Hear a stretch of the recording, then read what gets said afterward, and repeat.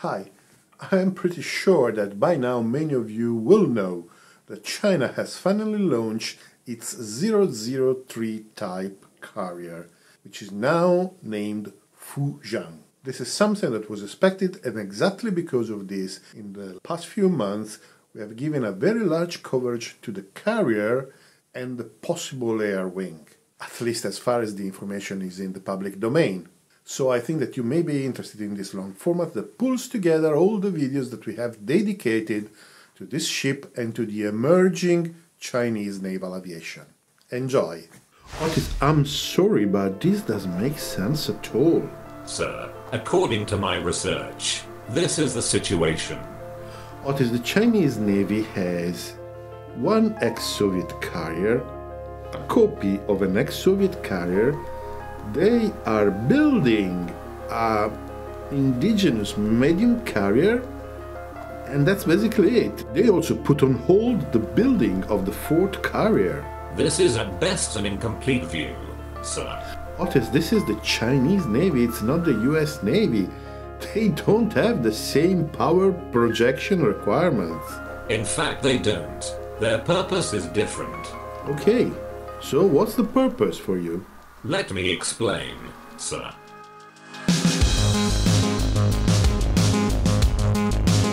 Hey, we have already covered the recent history of the efforts of the Chinese Navy to acquire aircraft carrier capabilities in the context of the description of the long shadow that has been cast by the Soviet naval aviation on many modern navies. The video covers a lot of details and if you're interested, you can find it here. For our purpose today is enough to recall that China operates two aircraft carriers. The first is actually the ex-Soviet ship Varyag, purchased in shady circumstances in 1998.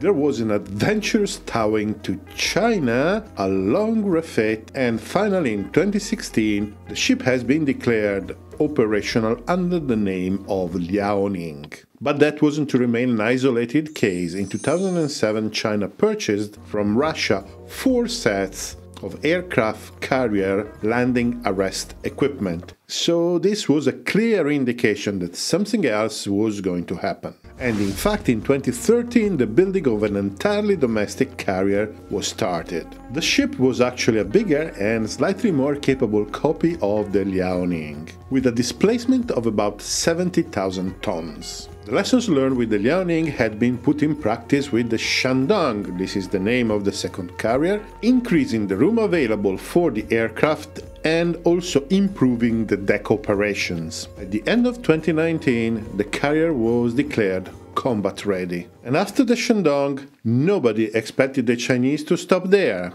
And in fact, the Type 003 came along.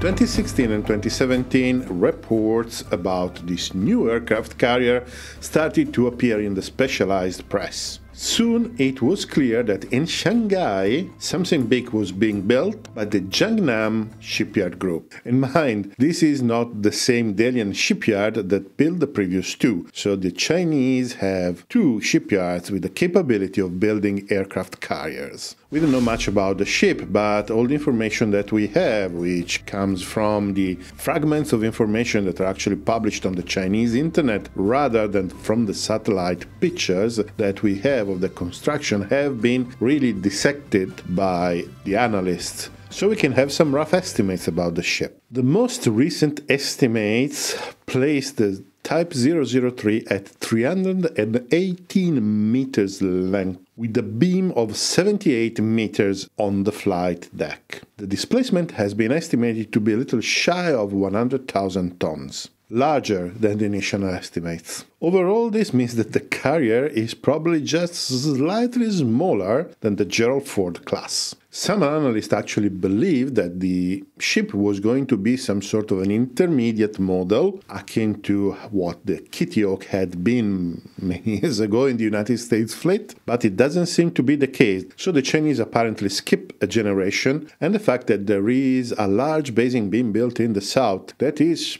pretty much just big enough to host a Type 003 is probably telling us that this is going to be a sort of a standard measure for Chinese aircraft for the years to come. The Type 003 is still being built, but we can identify some differences with the Ford class. For example, the Type 003 doesn't feature a nuclear propulsion, but its propulsion system is not entirely conventional either. In fact, it seems that the ship is going to have an integrated electric propulsion. This means that turbines, boilers, or any other power generating element on board of the ship is not connected directly with the propellers, but is only used to produce electrical power, which is transferred to electrical engines driving the propellers. This type of propulsion is becoming increasingly popular because it has several advantages in terms of design but also efficiency compared with older configurations. But this choice also makes sense because the Type 003 will be equipped with three electromagnetic catapults, each one of those 105 meters long. On a carrier flight deck, basically we just see a rail with a shuttle moving on it. But actually catapult is a relatively large system that, that may influence the whole ship design. For example, steam catapults require the boiler to generate the steams and all the piping required to bring the steam from the boiler uh, to the catapult that has a complex mechanical system that pushes the aircraft when is needed. On the contrary, electromagnetic catapults require a large amount of electric power being delivered very quickly to accelerate the aircraft. And this requires to bring the electrical power to accumulation devices and all uh, the cabling that is actually required, all the control systems. In the United States, the development of the EMALS has been long and bumpy, but the advantages of the solution compared with the steam catapults is quite clear. The Chinese don't have any direct experience, but even in this case, they have decided to skip a generation and point directly to the most modern solution. Another element that heavily influences the design of the ship is the hangar. It seems that the hangar of the Type 003 is going to be slightly smaller than the Ford class hangar, and it will have only two large aircraft elevators rather than the three that are present on the Ford class. The ship is expected to be launched in 2022, to be delivered in 2024, and to reach the initial operational capability in 2025 or 2026. However, the Chinese don't have any experience in running a Car carrier, so delays are definitely possible. And this consideration, rather than budgetary concerns,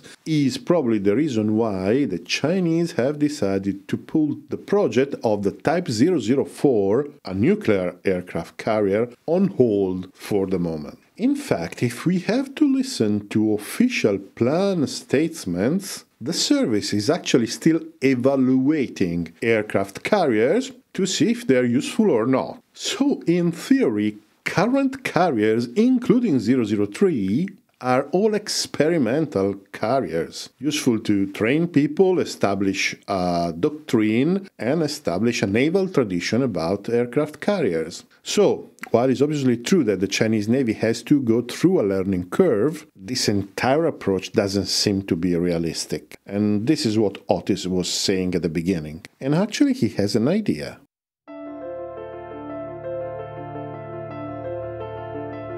Carriers allow sea control over critical trade routes, and they project air power over coastal areas up to a depth into the continental mass that includes the bulk of the population. They can deny the use of the sea to an opponent and they can protect friendly or neutral sea traffic that is essential for the survival. And in fact, the United States uses the carriers to project power globally. This is basically what a maritime empire does, and the United States are a maritime empire, even though I'm well aware that this way of putting things is definitely not politically correct. But what is the imperial drive for China? Well, for China is the necessity of having access to energy and food. The most important maritime routes for China are those that lead to the Middle East for oil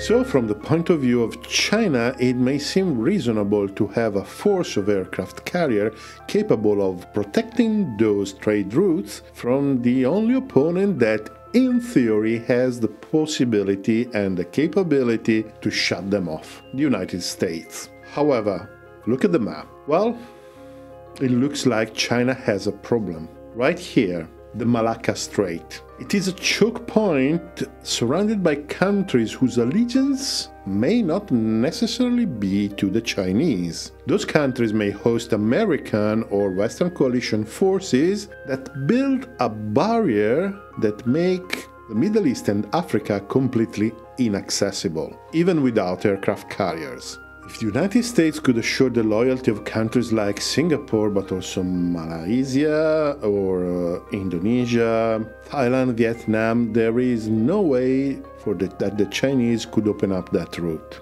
In that case, the only possibility for the Chinese would be a physical invasion of those land areas or a neutralization of all the infrastructures that would be used by a Western coalition in those areas. And now, what would you need to do such an operation? Well, obviously, an invasion force, an amphibious force.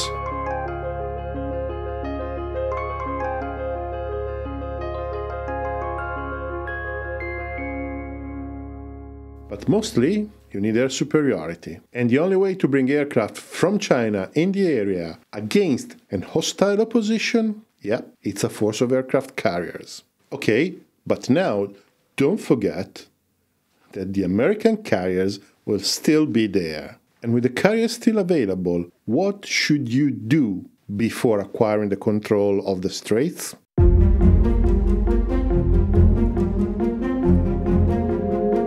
West for a long time has been sort of assumed that the long term plan of the Chinese was to deploy six aircraft carrier, two in the north, two in the south and two in the east facing Taiwan, where the carrier were going to become the centerpiece of a defensive system that goes beyond the first island chain. However, some analysts have found older Chinese publications that actually hint to something different. In some Chinese publications, it is stated that they are well aware that no real confrontation with the United States may happen till the Chinese Navy is actually capable of fighting and winning against the US Navy in blue waters. And to do so, they assessed that at least a force of 10 aircraft carriers was needed. And mind, the Chinese always make long term plans. So, what if, and it, this is a what if, this is a speculation,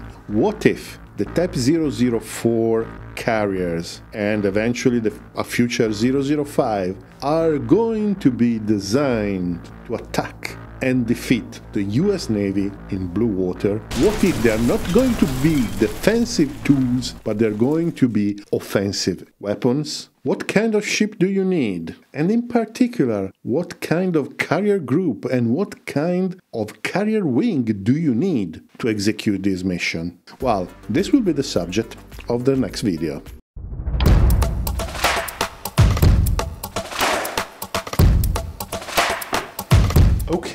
Let's talk Chinese carrier wings.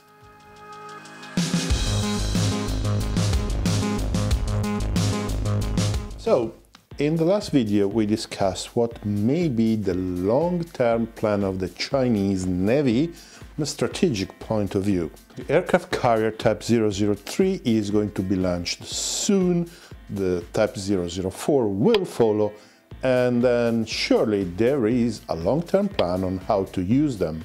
The end state in 10 or 15 years is going to be a carrier fleet, but its main mission is probably still uncertain. It can either be the centerpiece of a defensive posture to defend the first and the second island chain, or it could be an offensive force to contrast the US Navy in blue waters and to support ground operations in the Malacca Strait. Or it could even evolve from a defensive force to an offensive force for what we know.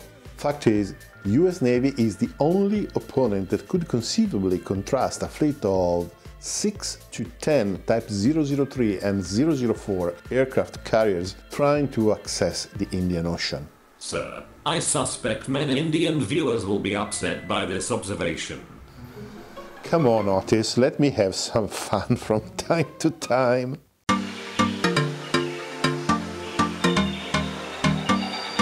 Anyway, the carrier is only a mobile infrastructure. What makes the carrier worth having is the carrier wing. In fact, the capabilities of the aircraft based on the carrier are basically the offensive capabilities of the carrier group.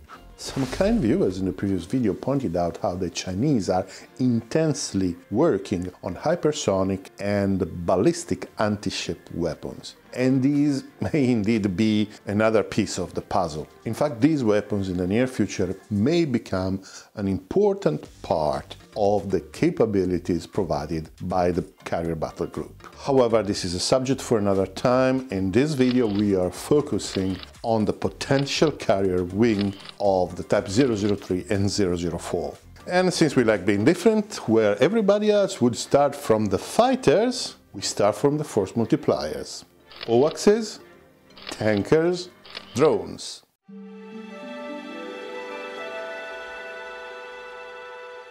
Probably the most important force multipliers of all are the airborne early warning radars.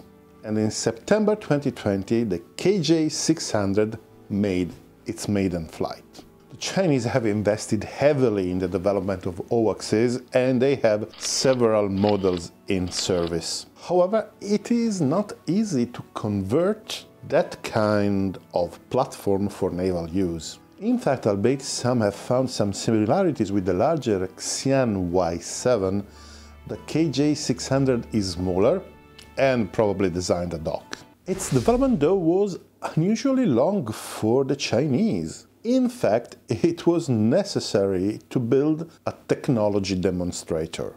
The JZY01 flew for the first time in, in 2001. It has been used during the years to test several different configurations, and the current configuration has been seen for the first time in 2012.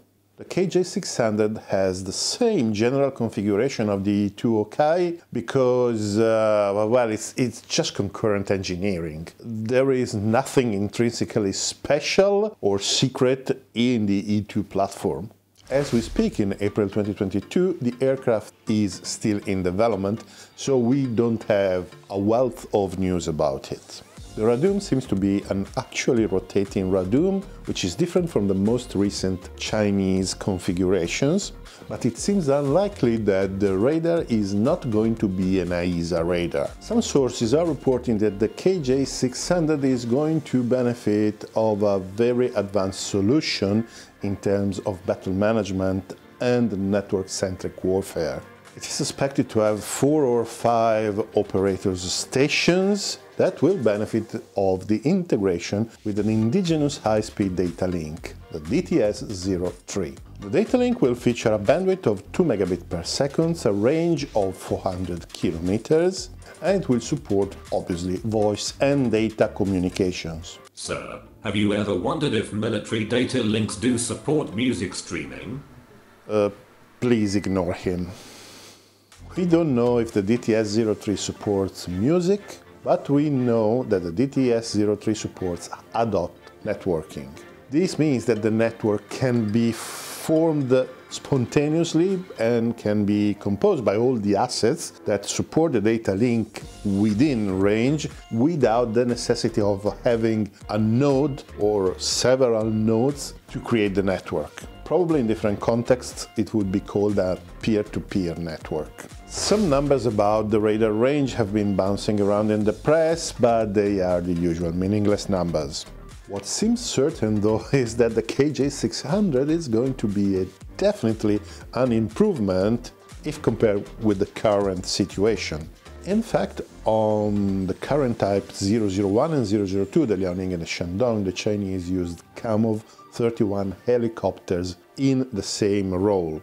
And it is clear that the KJ600 compared with the helicopters will have more time on station, more operators, more computing power, more electrical power, and it will be faster. All observers agree that the KJ600 will require a catapult to take off from a carrier, so it surely won't be on board of 001 and 002, but it seems only logical that it will be deployed on 003 and uh, following.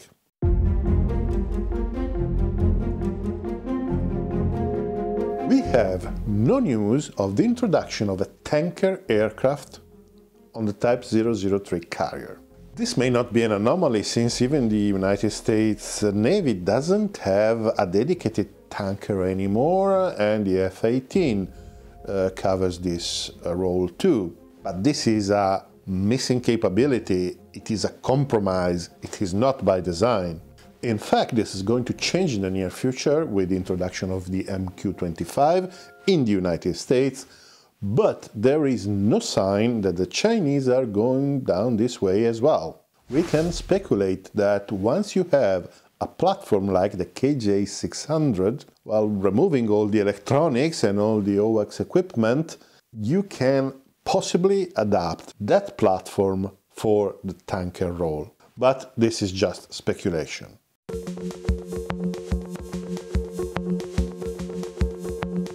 China, since 2019, has introduced in service a stealth UCAV, the GJ11 Sharp Sword, which probably a world first. It has a flying wing configuration not too dissimilar from the MQ-25 or the Neuron, the Okhotnik, and several other experimental projects. It is designed as a ground attack unit and it has two weapon bays that can house each kind of compact PGMs. We know that it is in service with the Air Force, but its actual use so far it is actually shrouded in secrecy. The wingspan is estimated to be 14 meters. The empty weight is 6,350 kilos and the maximum takeoff weight is 20,200 kilos. It is subsonic, the engine has no afterburner and the speed is estimated to be around 500 knots. Transfer range is declared to be about 4,000 kilometers, which means that probably the combat uh, range is in the region of a bit more than 1,000 kilometers. Not enormous, but pretty decent. Some analysts believe that the aircraft as it is now cannot operate from carriers, and granted it will need an adaptation. However, if the engine thrust is probably low for carrier operations, the wing seems capable of quite a lot of lift and you can spot quite large flaps on the trailing edge. So while it is questionable that it could take off from a ski jump, I don't believe there will be any special issues in launching it from a catapult, even at maximum takeoff weight. The maximum takeoff weight is a bit high, but that's what the sources are saying, so take it with a pinch of salt. In any case, there are official drawings that show a drone like the GJ11 on the deck of a Type 003 or Type 004 carrier, or even on the deck of the conjectured Type 076 amphibious assault ship. All these three types of ships will be equipped with electromagnetic catapults, at least according to the plans. Operating a drone from a carrier is obviously more challenging than operating a drone from a land base. However, it is a technology that doesn't require a particular breakthrough, so it is probably within reach of everyone who wants to put the effort in it. And if this was the case, it may well happen that the Chinese are going to be the first to deploy a combat drone on board of a carrier.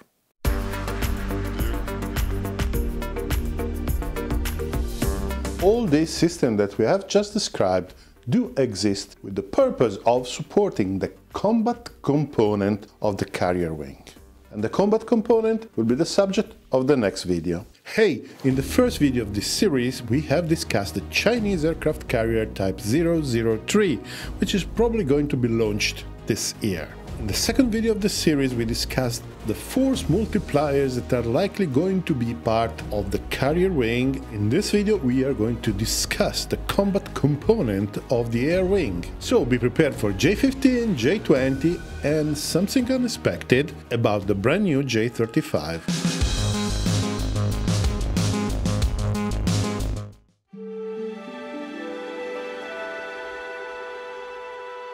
The Shenyang J 15 is the current centerpiece of Chinese naval aviation. The translation of the Chinese name means flying shark, while the NATO moniker is Flanker X2. Yes, because the J 15 is actually one of the many flanker variants that populate non Western aligned air forces around the world. I always stress that the Chinese do copy way less than is commonly believed, but in this case, the J 15 is indeed a copy, a reverse engineering of a Sukhoi 33 prototype that was sold by Ukraine. The prototype was acquired in 2001 the project started in 2006 and the first flight happened quite quickly in 2009. Problem was Russia was not okay with China copying the aircraft, and something similar actually happened with the J 11. So there has been quite a long and harsh confrontation about intellectual property between Russia and China, but this is a story for another time. 2012, the aircraft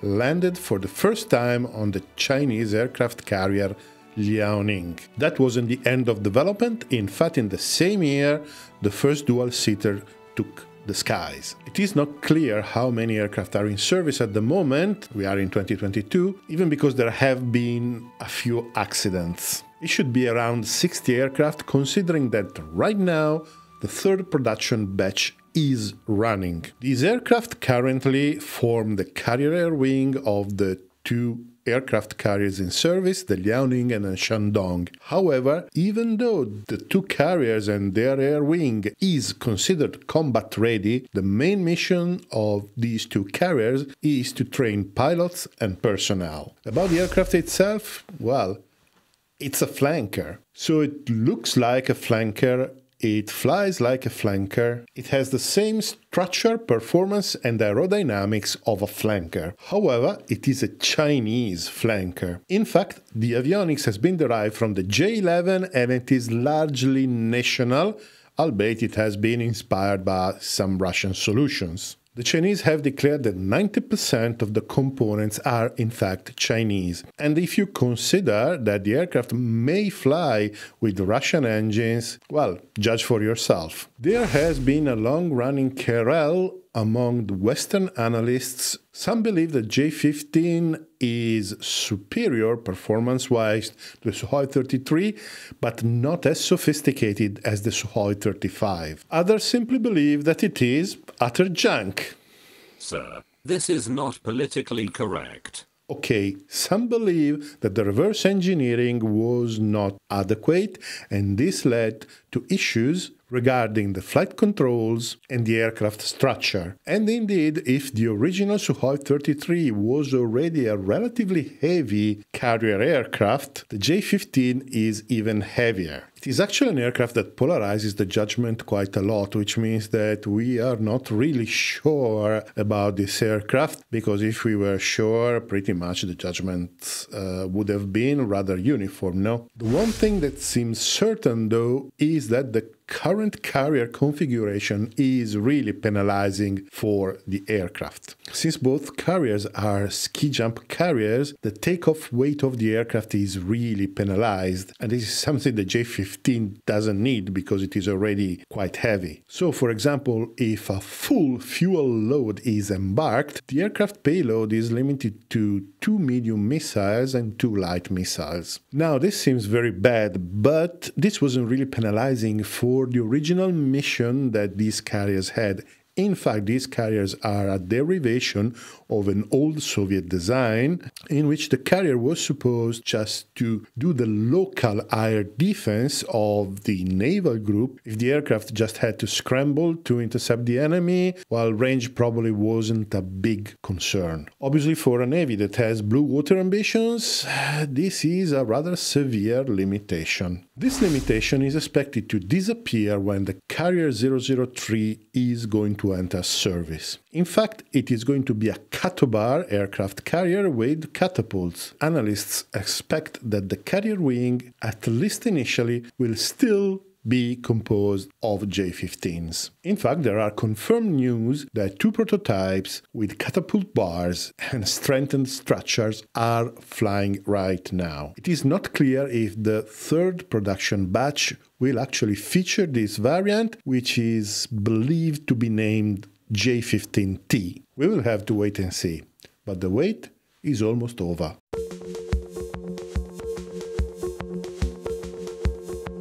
J20 is currently the crown jewel of the Chinese aircraft industry. We have already discussed the aircraft at length on the channel, so I won't get into too many details, but I suggest you to watch the video, link above and below. Obviously the J20 is a land-based aircraft, so what does it have to do with the 003 carriers? Well, simple, in 2019 the Chinese press reported that the Chinese Navy had chosen the J20 as as the new carrier based stealth aircraft. Shortly thereafter, other news appeared that Chengdu was working to a naval version shortened. In fact, navalizing a ground aircraft is no easy task. The first element to consider is the role of the aircraft on the carrier. In fact, analysts do agree that J20 is not a multi-role platform. Considering the characteristics that we know, it is expected that the two main missions of the J-20 will be BVR air superiority and long-range penetrations for ground attack with precision-guided weapons. The absence of a cannon and the lack of usable external pylons greatly reduce the versatility of the platform. This means that an air wing cannot be formed by J20 only, At least at the beginning, a component of J15 will be required. A second consideration is about the structure and the design of the aircraft itself. In fact, a naval aircraft, while taking off and landing, is subject to loads that are different and in generally higher than a land based aircraft. The front gear assembly is subject to inertial loads when taking off from the catapult. The gear and the tail hook are subject to violent impulsive loads when landing, and the points where the gear legs and the tail hook are actually connected with the aircraft structure should be capable of bearing these loads and not breaking, and this is the easy part, but should also be dimensioned in a way not to show metal or material fatigue in the long term. And this is a bit more difficult to design despite the fact that today you have all these kind of computer simulations and so on. The whole aircraft must not be too flexible. That is, the wings and everything that is hanging underneath should not slam into the deck in case of a rough landing, and when launching, the aircraft should not arch on the catapult. All of this must happen while we consider that the estate on the flight deck and in the hangar is at premium, so at least the wings are better befolding. And finally, the marine environment is salty, hence it is very corrosive, so an adequate anti-corrosion treatment must be implemented. All this means that a carrier based aircraft is at least 5% heavier of an equivalent land based aircraft. So Chengdu is modifying the aircraft uh, in order to make it suitable for carrier use and is going to make it shorter so it's going to occupy less space. So far, despite the fact that the development of the J20 is usually quite quick, we have seen no prototypes flying. And one element that I suspect is making this job quite difficult is the aircraft configuration itself. For a carrier aircraft, is desirable to have a relatively low landing speed in order to reduce the amount of energy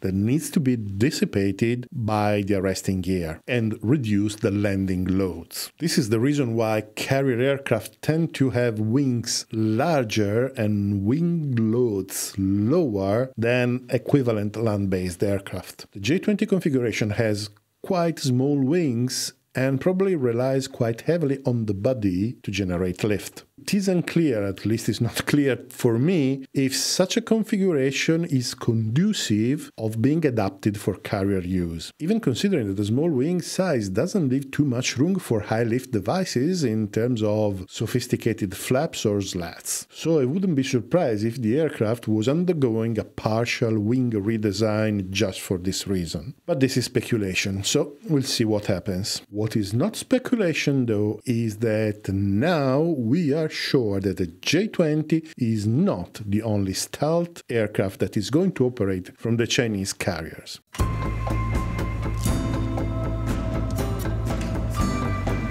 Weeks ago, an official tweet from a Chinese government account referred to an aircraft, a naval aircraft, as the J 35. This means that what has been known in the past, like the FC 31 or the J 31, has now finally received an official J number, which probably means that it is going to enter service with the Chinese Navy. The aircraft originates from the losing design of the competitions that gave birth to the J 20. Shenyang, rather than abandoning the project, kept developing the aircraft autonomously. There is a long story behind this aircraft, and we are going to dedicate a specific video to the J 35. However, there are some points that, in the context of the composition of the carrier wing, should be addressed now in this video. And to immediately address the elephant in the room!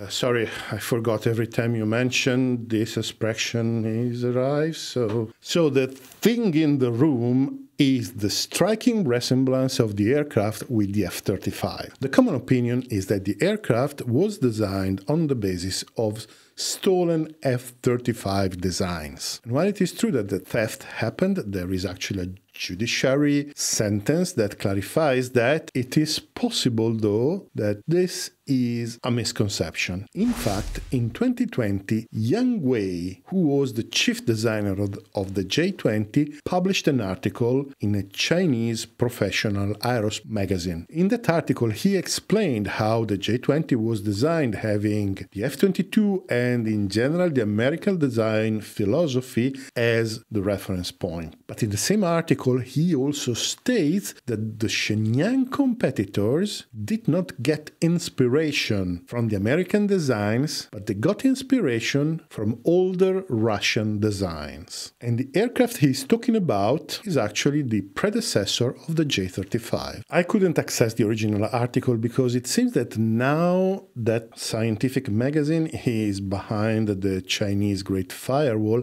However, I could find references of the article in Chinese press, uh, pretty much in the same terms, so it may be possible that the article exists. You should have told me before, sir. While I was in China, I could have acquired a copy. No comment. And by the way, if you want to have access to the sources that have been used for this video, they will be published on Patreon and for uh, the channel members. So if you like what you're seeing and you want to actually support the channel, you will have access to this extra perk. However, we are not done. There is more. Vladimir Barkovsky, an executive of MiG Bureau, discussing the aircraft in 2012, despite the fact that the aircraft was featuring some solutions that have been already tested in some Western design, it was in fact an indigenous design. How did he know? Well, the MiG Bureau at the time was consulting for Shenyang, officially for the integration of the engines, but you never know. Even though there are strong similarities, there is a good possibility that the aircraft is, in fact, not a copy of the F 35. However, if you want to leave a comment that all of this is nonsense, that the aircraft is definitely a copy of the F 35 and the Chinese, after all, are only capable of cheap rip-off, please feel free. The comment section is open to everyone, even those who don't listen to the video. As I said, we will be covering the aircraft in the near future when probably a bit more information will be available, but still we have to consider which role is going to have in the carrier wing. Well, the role that is expected to cover on the 003 and 004 carrier wing is that of the multi-role light fighter. In fact, the aircraft is relatively small. It is much lighter than the J-15. It has about 8 tons of payload with two internal bays that can host compact precision guided weapons. Plus, the aircraft can have up to six external pylons for uh, all kinds of payload. And it also seems that the radar will be one of our old acquaintances, but you will have to wait a dedicated video for that. However, while you wait for the J35 video, there are plenty of other videos dedicated to the Chinese Air Force, the Chinese Navy, and China in and they are going to appear beside me. An enormous thank you to all those who are supporting the channel on Patreon or by being a member. I bring you all in my heart. And for now, thank you very much for watching and see you there.